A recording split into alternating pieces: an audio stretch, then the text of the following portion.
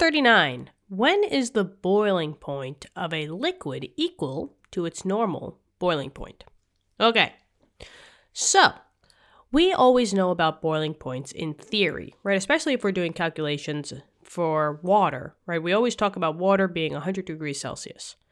But in real life conditions, that 100 degrees Celsius might not be true for your area, right? If you live way above sea level in Colorado, your boiling point might be different from its normal boiling point. A normal boiling point, you could think of this as like a theoretical, you know, quote unquote, theoretical boiling point.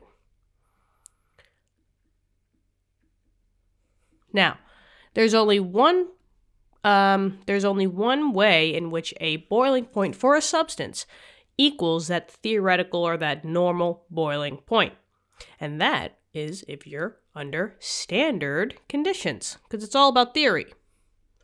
So we're, we're dealing with standard conditions here. So we just have to go back and say, well, what was standard conditions?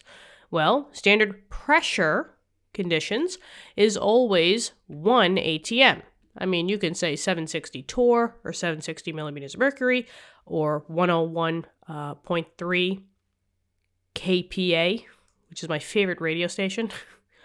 101.3 kPa. um, but yeah, standard conditions is always 1 ATM. And that's when a normal theoretical boiling point will ha- happen. Now, if we want to put this a little bit more in depth, is that what has to be 1 ATM, right?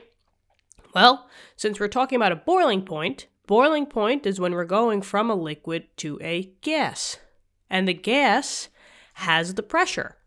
So, this is what's called the vapor pressure. So, it's basically when your pressure above the liquid, which is a substance's vapor pressure, is equal to 1 atm. So, when the vapor pressure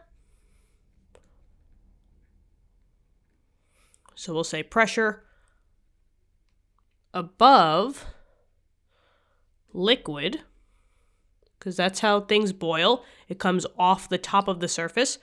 The vapor pressure is exactly 1 atm. And that's it for this question. Let's just box this off in a big box and call it a video.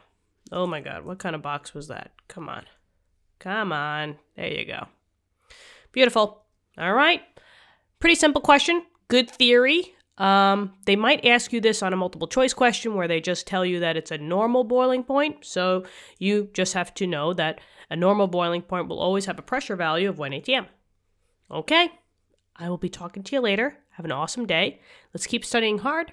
And if you wouldn't mind, please hit the subscribe button to help us out in the YouTube universe to get uh, you know, this this channel out there that you know, cool educational videos are here for you and for them and anybody who needs it.